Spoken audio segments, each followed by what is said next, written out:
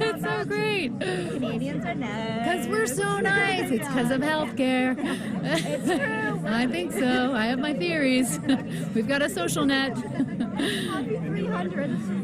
Huge. It's huge. Massive. I mean, I, I think it's. I don't know if it's yet unprecedented, but we're well on our way.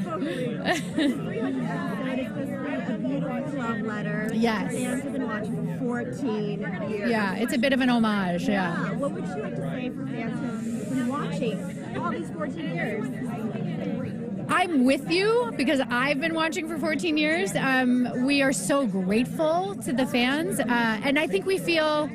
Uh, I don't know. I feel like a relationship is formed, and when you when you meet people who have been watching for that long, and they know your story, your character story as intimately as you do, um, it, it's kind of a humbling thing to to to know that your life and your art and the thing that you're passionate about is almost as much a part of their life. Yes, yeah, and so many of them have made relationships through bonding over the show, and it does feel like it's beyond television. It's kind of become part of the fabric of our culture at this point. So that's a that's an overwhelming and wonderful thing. Yeah, yeah, right. that future episodes will actually have a lot more joy and humor. yes, yeah. Looking forward to a later Absolutely. I mean, I just don't think Amelia can go through anything else. She's like hanging by a thread, people.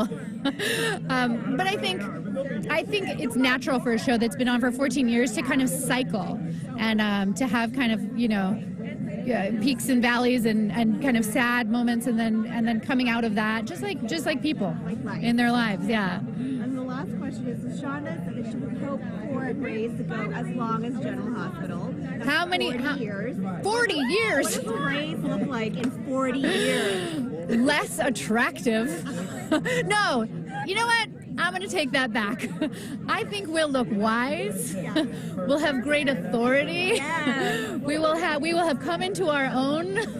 we will be like the maiden mother crone, the crone part of this journey, and I embrace it.